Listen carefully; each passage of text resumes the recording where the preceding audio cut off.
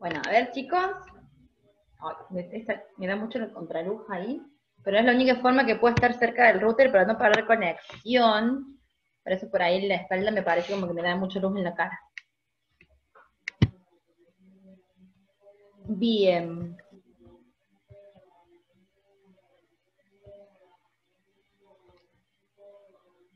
Quedamos en... No me acuerdo en qué parte quedamos. Uy, no puedo porque el ruido que hace este chico. En el, el ácido.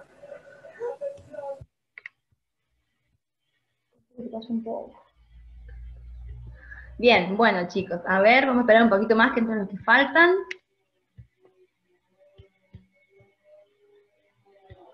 Se pasó rápido la primera parte. No sé si les pareció, pero se pasó bastante rápido. ¿Dónde está su marido?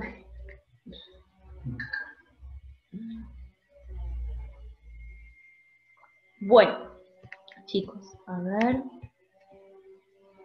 Bueno, la otra, en el otro grupo me preguntaron también sobre la clase, si vamos a armar desayunos y meriendas. En esta clase vamos a armar almuerzos, y quédense tranquilos que vamos a ir viendo el tema de almuerzos, no, no es que nos vamos a quedar en estos ejemplos, pero sí me interesa que lo repasen, que lo vean y que vayan un, poco jugando con la imaginación y que vayan armando sus propios menús, eh, o menús, y bueno, ya después iremos complementando. Pero sí, esta parte vamos a hablar de almuerzos y cenas. Bueno, a ver chicos, eh, los silencié, en los que queden pendientes, nos vamos a mover sobre la marcha, entrando. Eh, a ver, bueno, voy a compartir la pantalla. Por acá.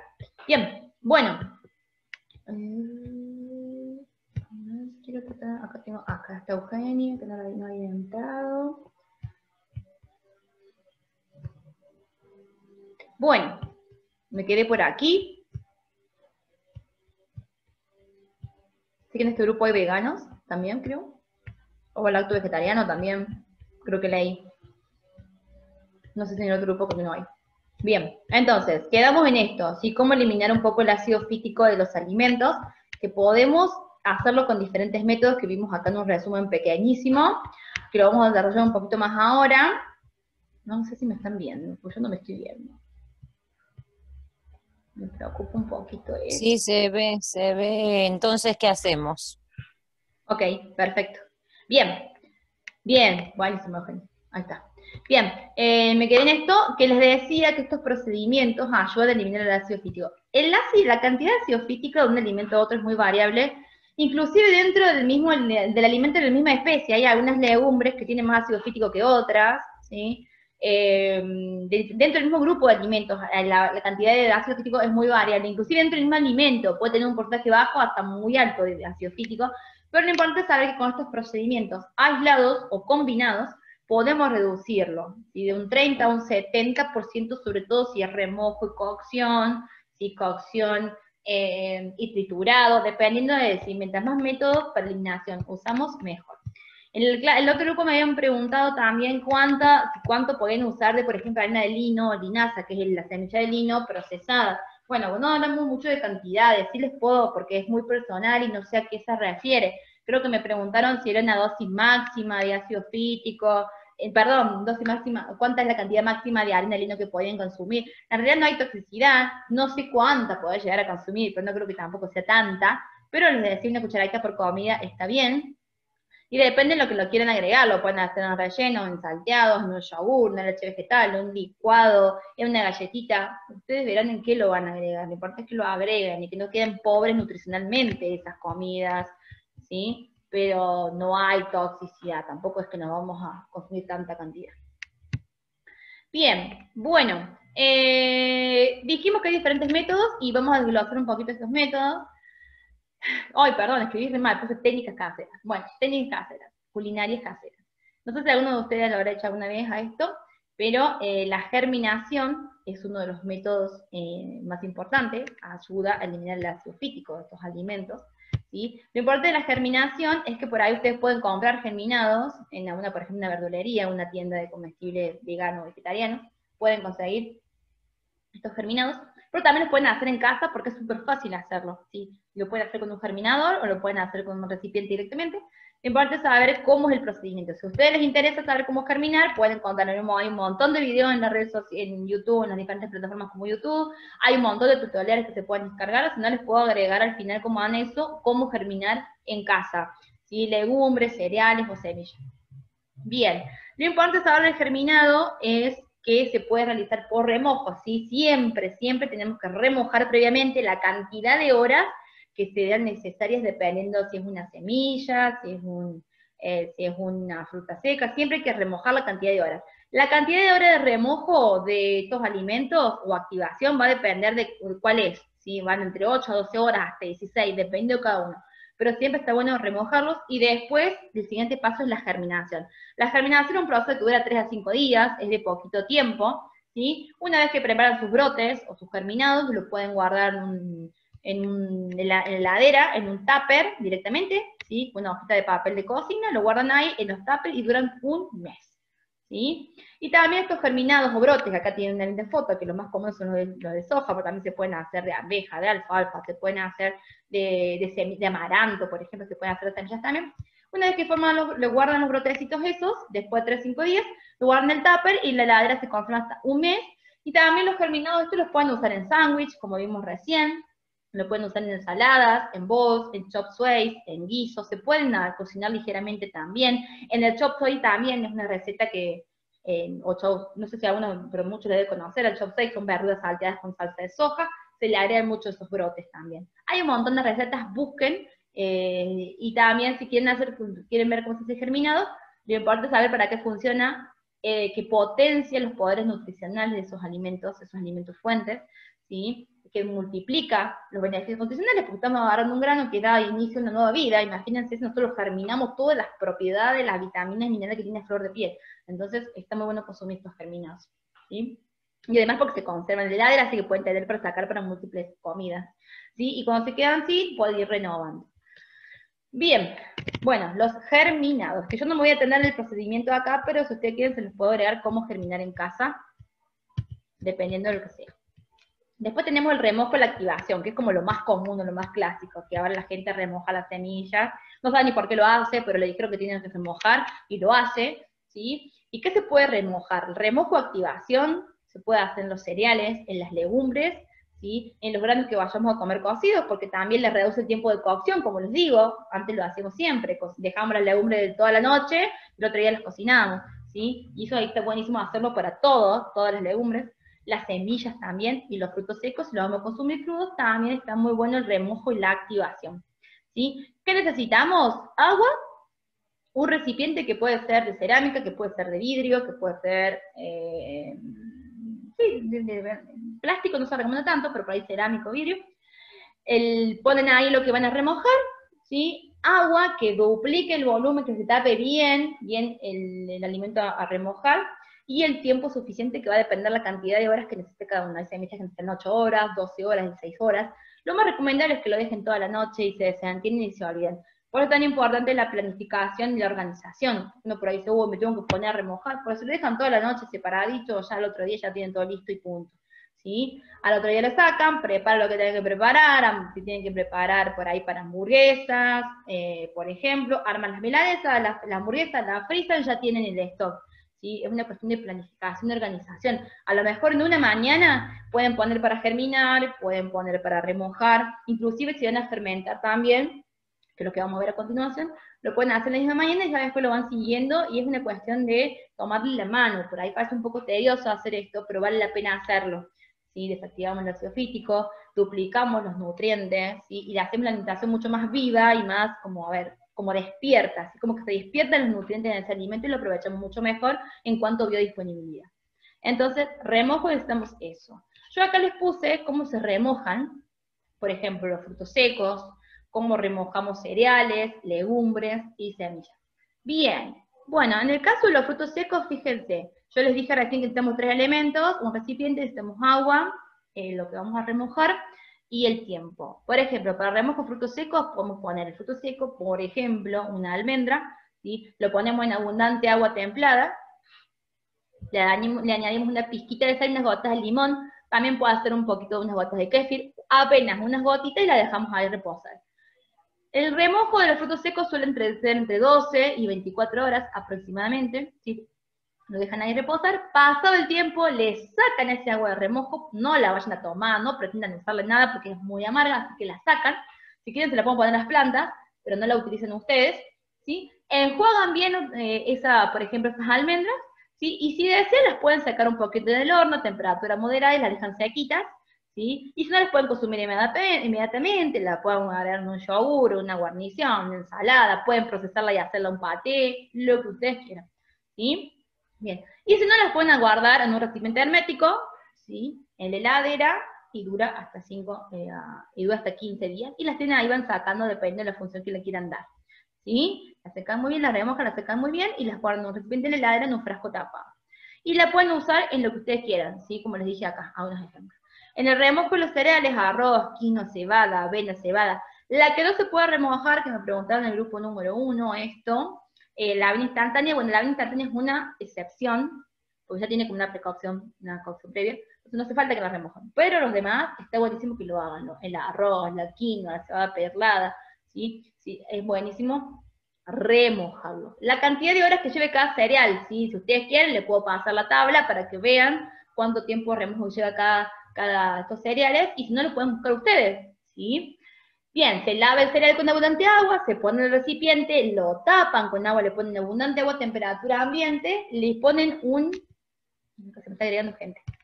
Le ponen, em, le pueden cambiar el agua, ¿sí? Y le pueden cambiar el agua cada tres horas, no le pueden dejar con esa agua, le añaden otra vez una pizquita de sal, unas gotas de limón o de kefir, y la dejan ahí que ese remojo se active, ¿sí? De 12 a 18 horas.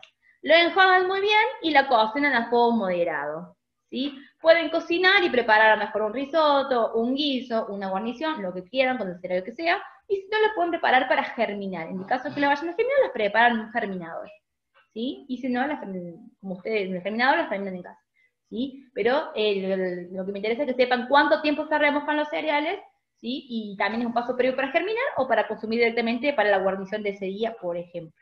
Y si no, lo pueden guardar en un frasco, en heladera y también lo pueden almacenar ahí directamente.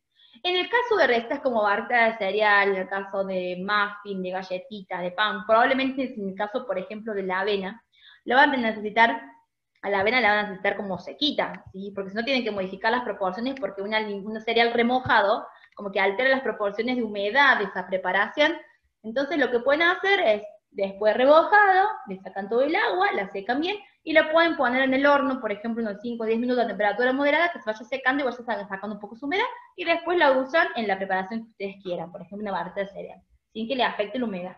¿sí? Bien, después tenemos remojo de las legumbres, que es súper, súper parecido, y las legumbres remojadas las pueden usar también boloñesas, en ensaladas, en bots, en guiso, lo que sea. ¿sí? Pero siempre necesitamos el agua, el medio ácido, el tiempo, y sacar ese agua, y después directamente lo usamos o lo almacenamos a, ese, ese alimento que está remojado. En el caso de las semillas pasa lo mismo, ¿sí? el procedimiento es súper fácil, para todos lo mismo. ¿sí? Una vez remojadas las semillas, la pueden conservar hasta tres días en el heladera en un recipiente tapado de vidrio, o las pueden deshidratar en el horno, ¿sí? como les digo, las secan en el horno un ratito, 150 grados, 15-20 minutos para secarlos un poquito, o las trituran. ¿sí? Y la otra opción también es germinarlas, al igual que los cereales. ¿sí? También pueden germinarlas si hacen, por ejemplo, un germinado de amaranto y hacen brotes de amaranto, amaranto en ensalada. Bien, otro proceso es la fermentación, ¿sí? y la fermentación es un proceso químico que se lleva a cabo mediante hongos o levaduras eh, o bacterias que usa el alimento que está, está fermentando como sustrato de alimento y que transforma a ese alimento y lo convierte en alimento superalimento, super nutritivo. Duplica y esas mismas bacterias eh, vitaminas, minerales, como que sean todos los nutrientes de ese alimento. ¿sí? Y también en muchos casos se convierte un alimento probiótico. ¿Y qué es un alimento probiótico? Es aquel que beneficia nuestro intestino. ¿sí? Los, que comemos, tenemos una alimentación omnívora, por ahí tenemos muchos probióticos sin darnos cuenta. Por ejemplo, el queso, por ejemplo, el yogur, ¿sí? entre otros. Y también consumimos muchos fermentados sin darnos cuenta. ¿sí? La sidra, la cerveza, la salsa de soja, eh, bueno, el mismo yogur, el mismo queso, el vino, sí, son todos alimentos fermentados. Pero de origen animal, pero de origen de alimentación vegetariana, como no tenemos estos lácteos fermentados como yogur y queso, por ejemplo, tienen que hacer sus propios fermentados y que le dan una, a ver, un potencial extra a los alimentos.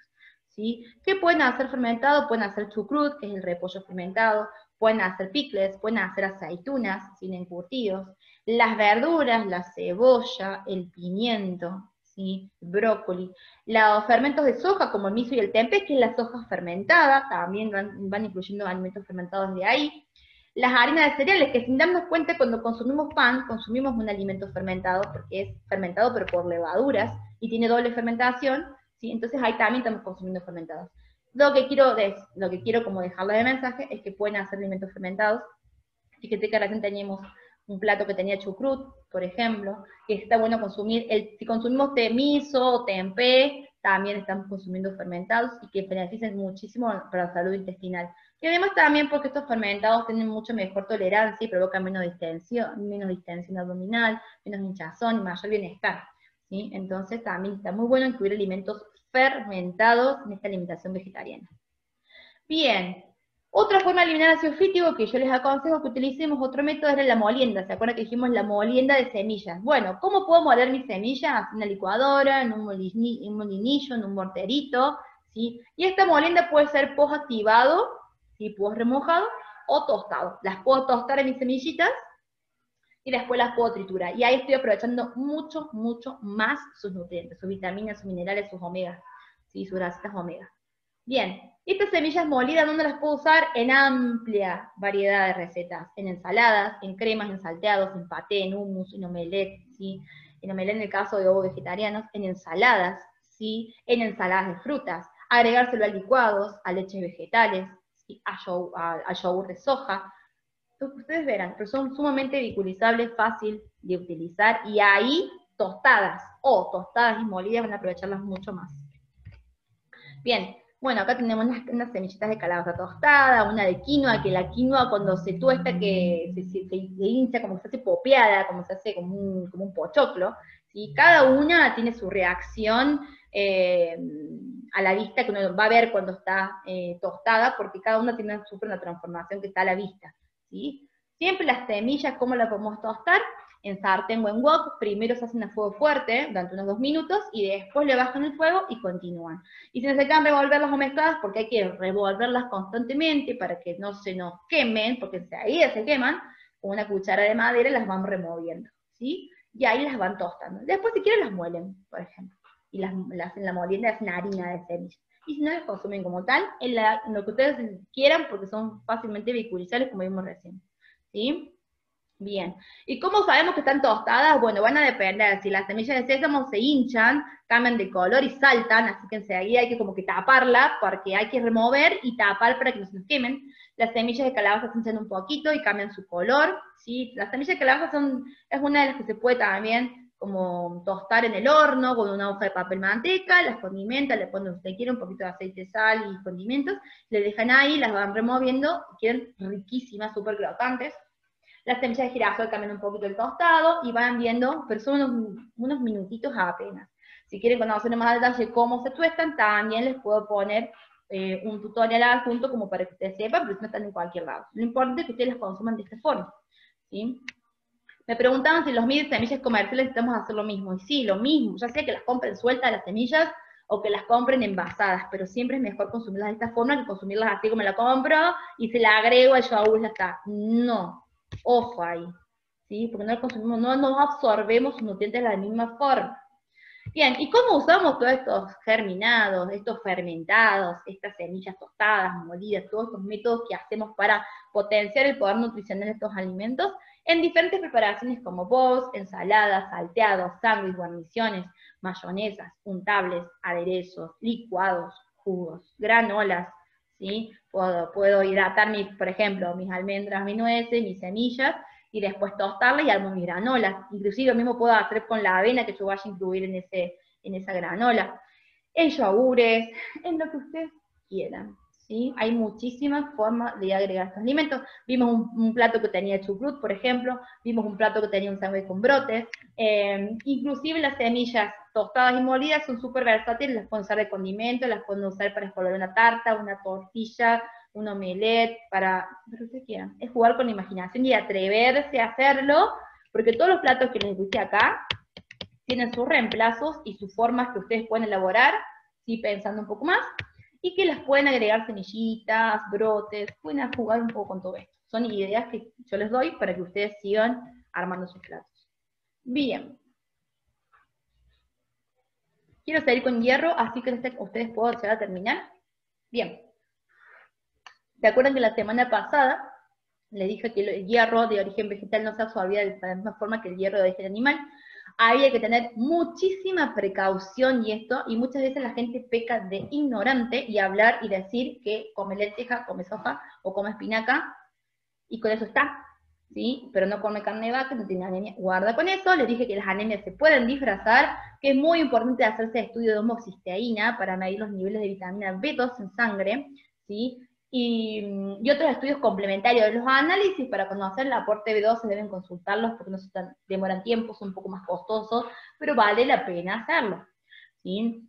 Bien, y en el caso de la anemia ferropénica, que es la anemia por déficit de hierro, hay que tener muchísima precaución también. ¿sí? Que tenemos que saber principalmente que el hierro de los alimentos vegetales no se absorbe de la misma forma que el hierro animal y no de la misma calidad, pongámosle. ¿sí? Bien, ¿y qué tenemos que saber? Bueno, para el hierro y para el zinc, ¿sí? Porque eran uno de los nutrientes problemas que vimos la semana pasada. ¿Cómo debemos potenciar su absorción? ¿Sí? Porque vimos que estaba afectado, la absorción del hierro estaba afectado por algunos, eh, algunos facilitadores como algunos inhibidores. El hierro de la carne no lo afecta en nada, la consumimos la carne y sus derivados, ¿no? Nosotros consumimos alimentos de origen animal, carne y derivados, y se absorbe por sí solo pero el hierro de origen vegetal necesita de un ayudante o facilitador que le potencie la absorción. Así como vimos recién, que para potenciar la absorción de, los alimentos, de ciertos alimentos había que germinar, eh, hidratar, tostar, fermentar, bueno, en el caso del hierro tenemos que combinarlo, el hierro vegetal, con algunos factores que son facilitadores de su absorción y tratar de disminuir o contrarrestar un poco el efecto que tienen los inhibidores en su absorción. Ahora, vamos a conocer cuáles son los facilitadores y cuáles son los inhibidores. Los facilitadores de absorción del hierro son la vitamina C, ¿sí? o ácido ascórbico, que por ahí cuando leemos ácido ascórbico es lo mismo que decir vitamina C, el ácido orgánico y la vitamina A. Esos son como los factores que van a ayudar a mi hierro de origen vegetal a que yo lo pueda absorber en mi cuerpo.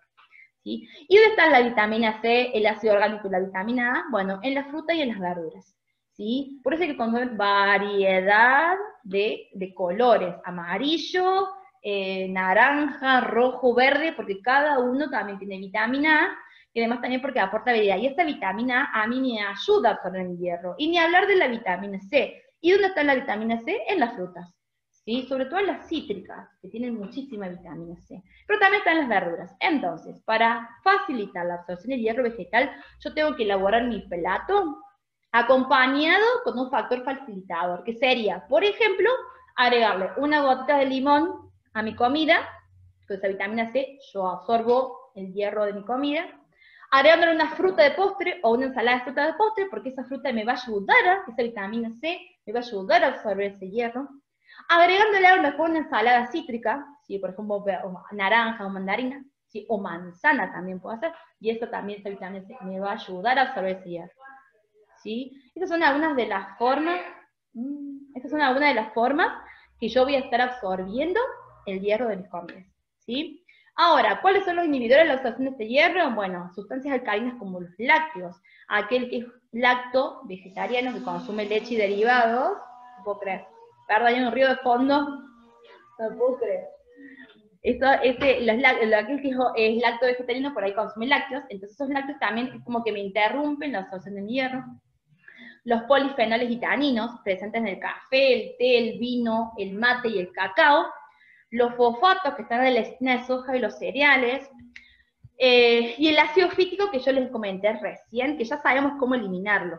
¿Sí? Entonces, ya sabemos cómo eliminar el ácido fítico, que es un factor inhibidor de la absorción de mi hierro en mis comidas vegetarianas. ¿Qué trataremos de hacer? No se trata de eliminar los lácteos si soy lacto vegetariano, eh, o eliminar el café o el mate si me gusta tomarlo. Simplemente consumirlo espaciado o alejarlo de la comida que tiene hierro. Entonces, si me voy a tomar un té, un café, me quiero tomar un vino, un mate, bueno, lo posible lo haré por lo menos una hora y media después de ingerir mi comida. Entonces esto va a permitir que yo pueda absorber bien, mi hierro.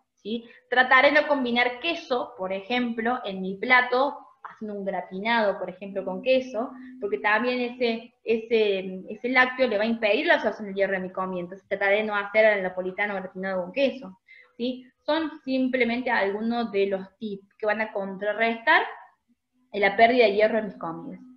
Pero es muy común que la gente tenga por hábito tomar té, café o mate después de comer, por lo menos esperar, esperar una hora y media, evitar los gratinados con queso en mis comidas, y ya saben cómo eliminar el sofítico. ¿Sí? Y lo positivo de esto es que tengo que combinar una vitamina C o de postre o en el mismo plato, que lo voy a hacer siempre con mis verduras crudas, por eso les dije, muy importante que medio plato sea verduras crudas, por lo menos un medio plato por día ser verduras crudas. Y esta vitamina C altamente disponible va a ayudar a saber a mi hierro. ¿Sí? Bien, conclusiones sobre el hierro no es complementar siempre los platos de almuerzo y cena con alimentos que tengan vitamina C y A, que son frutas y verduras, condimentar con gotas de limón, comer una fruta de postre, ¿sí? evitar el consumo de alimentos que contengan taninos como, ¿sí? como el café, té, mate, vino, ¿sí? contrarrestar el efecto de inhibidores mediante remojo, cocción, fermentación y germinación, que ya vimos cómo hacerlos, consumir alimentos fortificados, ¿sí? con hierro, con zinc, con calcio, y con vitamina C. Traten de elegir alimentos que sean fortificados, fíjense bien en eso. También vienen mucho las premezclas de harinas integrales fortificadas con estos minerales. Usar cacerolas o sartenes de hierro para cocinar, y eso transmite moléculas del hierro a la comida, así que está muy bueno eso, sobre todo en algunas preparaciones que tienen alto contacto, como las salsas, por ejemplo, eh, y en el caso que estén tomando suplemento de calcio por X motivo, tratar de separar la toma de calcio, porque dijimos que a veces el calcio de los lácteos es el que interfiere en la absorción de hierro, tratar de separarlo de la comida para que no interfiera en la absorción del hierro en mi comida, ¿sí? Y consumir variedades de vegetales crudos y cocidos, ¿sí? Como les dije, al menos medio plato de vegetales por día debe ser crudo. Bien, bueno, eso es todo chicos por hoy. ¿Dudas? ¿Consultas? A ver. Bueno, acá este grupo no sé por qué, pero siempre podemos tener las clases. Debo ser yo. Capaz que le agarro más la mano al tiempo con el grupo 2. Bien, ¿alguna duda? Ahí dice, ¿cuál es la diferencia entre el prebiótico y el probiótico? No sé si lo dijiste y lo escuché. El prebiótico es el sustrato del probiótico. Esa es la diferencia. No es lo mismo. Acá cuando hacemos fermentados hacemos probióticos, que son los que alimentan el flora intestinal. Necesitamos de los dos, de prebióticos y probióticos. Y el prebiótico sería la, verdura común, ponerle que haga un fermento de repollo. El, el, repollo crudo, tranqui, es prebiótico. Y el probiótico es el. Exactamente, la zanahoria, el repollo, la cebolla, exactamente. Así es. Hay que remojar los frutos secos y semillas sí o sí. Me lo preguntaron en otro grupo también. A ver, ustedes tienen la opción de consumirlos como tal. Si ustedes quieren, bueno, tengo ganas de hacerlo, no lo quiero hacer, nunca lo hice, lo voy a comer crudo, a la nuez, la compro así, la compro como está y la consumo así. Eh, a la fruta seca, a la, a la, a lo mismo, a lo mejor, ay, perdón el ruido de fondo, chicos, perdón. Em, la avena lo mismo, a lo mejor preparo, el arroz lo mismo, no lo voy a remojar, lo, lo pueden hacer. Yo siempre les sugiero que hagan esta forma de remojo para activar. Van a aprovechar mejor los nutrientes, pero no significa que no lo puedan hacer de la forma que lo vienen haciendo, que a lo mejor es siempre mojar, sin tostar, sin... Lo pueden hacer. Pero sepan que siempre van a tener ese aporte de ácido fítico que les va a impedir un poco la absorción de los nutrientes de ese alimento. Cuando nosotros hacemos los métodos, estos que les comenté recién, nos consumimos alimentos bajo estos métodos de germinación, remojo, fermentación, estamos reduciendo un 30 hasta un 70% de ácido físico en ese alimento. Entonces, quiere decir que si no lo hacen, van a absorber menos, nada más. ¿sí? Vale la pena hacerlo, porque encima son bastante caros como para desaprovechar esos nutrientes. Pero no significa que si no lo quieren, no lo, no lo pueden hacer tranquilamente, también por diferentes motivos, por ahí uno no lo hace y no pasa nada. Está buena esta explicación. Yo les recomiendo ver la clase de nuevo y tomar nota de los procedimientos, porque son tips que realmente no los había visto en ningún lado. Y que, que si ustedes venden la vianda y usan ese procedimiento, lo explican como lo explica acá la profe, porque les va a generar muchas mayores ventas, pues ya le están dando una información nutricional del producto. Exactamente. Y se nota que saben. Realmente no lo sabían, dicen acá. Sí, hay cosas. Eh, bueno, es, eh, Lourdes es una investigadora, aparte de nutricionista. Bueno, yo le decía lo mismo de otro grupo, hay que ser psicólogo, hay que ser bromato, hay que ser un montón de cosas para ser nutricionista, no es solamente... Sos nutricionista, psicóloga de cajón. Por eso por ahí, claro, por eso por ahí nos molesta tanto los nutris que nos digan hacen las dietas, y no saben todo lo que tenemos que saber, y cómo investigamos el tema, y las cosas, La, la otra nutri dice... eso, y, no solamente, o sea, porque por ahí pasa eso, la gente te hacen dieta, y la verdad que sabemos muchas, tantas otras cosas que por ahí, o que tenemos obligación de saber, que va mucho más allá de, hacer bajar de peso. ¿sí? Es una cuestión de salud y nosotros trabajamos para la salud y para la prevención de enfermedades, para cultivar la salud. Es por eso que creamos estilo de vida saludable y salud, más allá de solamente hacer bajar de peso. ¿no? Son los ingenieros químicos de la salud, porque ustedes hacen la fórmula, las proporciones, todo. Acá hay dos preguntas más. ¿Se remoja y se deja secar? Sí, Sí, sí, sí. Por ejemplo, yo les decía como en el otro grupo, que también lo tengo que ver porque nos quedamos medio sin tiempo, ¿viste? Eh, sí, lo remojan, por ejemplo, van a remojar, no sé qué puede ser, una fruta seca o un cereal, lo remojan muy bien, le sacan ese agua y eh, lo, enjuagan bien a eso que ya han remojado y lo dejan, ¿sí? Que se seca. Si quieren, lo pueden usar en el frasco y lo, guardan en un frasco de vidrio y lo dejan ahí en la heladera. Y si no, como les digo, lo pueden remojar lo pueden llevar al horno y secar ahí. Por ejemplo, en el caso de la avena, si a lo mejor quieren hacer una barra de cereal, y la se quita para hacer la barra de cereal, porque la humedad de ese alimento ya hidratado les va a afectar la composición final, ¿sí? Entonces, en ese caso, lo van a secar un poco en el horno, unos 10-15 minutos, hasta y lo van removiendo hasta que elimine un poco ese, ese, líquido y ya les va a quedar más o menos sequita como para usar en una preparación que la, que la requiera sequita. Seca. Bueno, después, si yo tenía entendido que los probióticos es consumir las cepas o yogures fortificados. O sea, yogures con probióticos. No, el probiótico es el ingrediente. en realidad el yogur ya de por sí es un probiótico porque es como un fermento de la leche, ¿no? Exactamente, yo el yogur de por eh, a ver, fortificado es otra cuestión, ¿sí? Depende cómo esté fortificado, ¿sí? Eh, el yogur es un probiótico de por sí, entonces, ahí está la diferencia, pero hay que ver también porque muchas veces los conceptos se, se, confunden, igual que el kéfir, el kéfir también es otro tipo, la única diferencia del kéfir con el kéfir de leche, por ejemplo, con el yogur, es que tiene otras bacterias, ¿sí? Pero tienen la misma función, son alimentos que enriquecen la microbiota intestinal, que tenemos muchísimas bacterias en el intestino, millones, ¿sí? Que no lo sabemos también eso.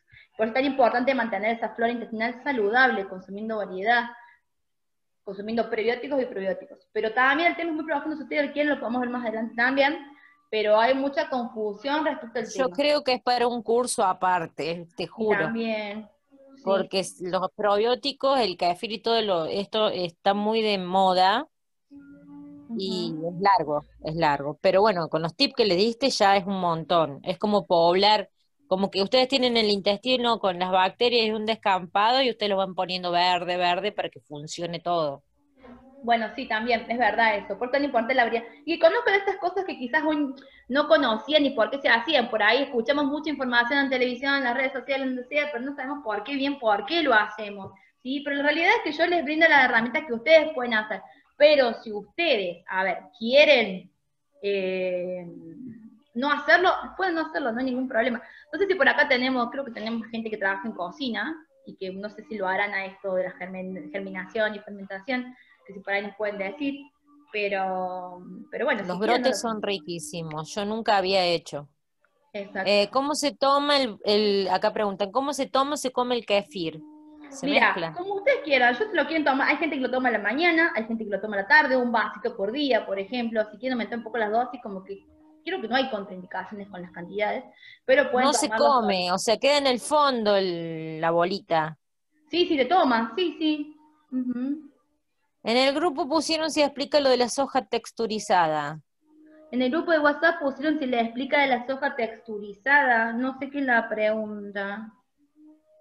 ¿Qué es la soja texturizada? Ah, la soja texturizada. Bueno, no me adelantemos ese tema porque lo vamos a ver en las siguientes, en las siguientes clases cuando veamos, no me quiero adelantar con eso, soja texturizada, lo que es miso, lo que es tempeh, porque lo mencionamos y lo pusimos en la parte de proteína del plato. Ay, acá hay gente que quiere entrar, no sé qué pasa. Lo pusimos en la parte... Se han salido y quieren entrar de nuevo. Sí, se han detenido. Em, lo vamos a ver en las siguientes clases para que ustedes entiendan qué es, ¿sí? No se, no se preocupen. Sí, que bueno, no sabía que se hacía boloñesa con el ¿Cómo era? ¿Seitán? La carne esa. Sí. Con el seitán. Se puede hacer boloñesa, se puede hacer resta, se puede hacer milanesa. Eh, Se puede hacer empanada. También, sí, igual que una carne común. Pero bueno, por ahí Qué lo que bueno. tiene, el seitán es que lo pueden hacer en casa, es fácil, y eh, usarlo en variedad de recetas, y es súper, súper, súper proteico. Obviamente que no es apto para celíacos, eso sí tengan en cuenta. Esto el celíaco ya lo sabe, porque desde su Bien. propia alimentación saben un montón, pero bueno, sí, porque es de gluten, es gluten de trigo con agua y condimentos y cocido. Y pero es un súper, muy buen alimento, es un muy buen reemplazo vegetal de la carne. Chicos, me ¿Y el tempé? también es derivado de la soja. Sí, sí, lo vamos a ver después. ¿Hay contraindicaciones para consumir fermentados? Preguntan. No. No, no, casi todos los alimentos se pueden fermentar, no hay contraindicaciones, salvo que tengas alguna situación en particular. Pero, a ver, como le dije recién, mejoran, claro, pero mejoran la disponibilidad, no solamente la disponibilidad de alimentos, sino también que los hacen más digeribles, más tolerables, reducen el hinchazón, son, más son de mayor y mayor fácil, de más fácil digestión. Así que no hay contraindicaciones. Sí, hay que tener mucho cuidado en la elaboración del fermentado.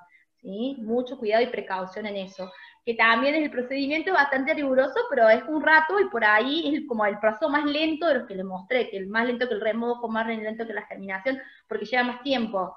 Pero hay que tener medidas higiénicas y cuidados básicos, como, como hervir en agua caliente los frascos, como taparlos muy bien, que quede un espacio de vacío, como que el agua cubra por, completo los vegetales, si lo van a hacer, por ejemplo, en caso de en fermentados vegetales. Hay que tener muchas de estas medidas precauciones, pero contraindicación no, salvo que sea una situación muy particular, pero yo creo no. Bien, me sin tiempo, chicos. No sé si Ya Eugenia, estamos, sí. querés agregar algo más. Si hay alguna pregunta, lo pueden ver en el grupo. Yo recomiendo que vuelvan a ver la clase porque tiene unos tips espectaculares, tomen nota de todo, porque la verdad que yo esta clase la descubrí hoy, el tema de los brotes me dejaste muda. los brotes. Bueno, yo no sé si alguna vez lo hicieron en casa, pero es súper fácil de hacer, hay que tener un poquito de paciencia nada más, pero es una vez que le agarran la mano, y como le digo, por ahí pasa tedioso hacer un procedimiento, el otro, el otro, es de poco y como todo se va empezando, ¿sí? Pero es tan, es tan importante que lo hagan, y hay tantas cosas fuera de alimentación que no sabemos. Nico, ¿Mm? es tan orgánico, ahora que está todo, uno busca. ¿no? Sí, ni hablar, ni hablar. Bueno, ahí me está levantando la mano, pero se me estoy quedando sin tiempo. Bien, bueno, No, eh, bueno. nos vamos a ver la semana que viene, chicos, en la clase número 4. Y eh, cualquier duda lo pueden escribir en el grupo. En principio, eh, bueno, vean la clase. Eh, yo pensaba que los brotes no se comían, me dice por acá, sí se comen. Eh, Sí, y lo vamos a, los voy a subir en YouTube esta semana para que vean la clase, toman notas, si quiere, que quiere imprimir la clase, la- lo puede hacer, pero va a estar todo subido, creo que más o menos por el miércoles. por ahí. Bárbaro. Bueno, Lourdes, excelente como siempre. Bueno, gracias. Nos vemos Bueno, la semana nos vemos el sábado, chicos. Adiós. Descansen. Chao, chao. Chao, chao.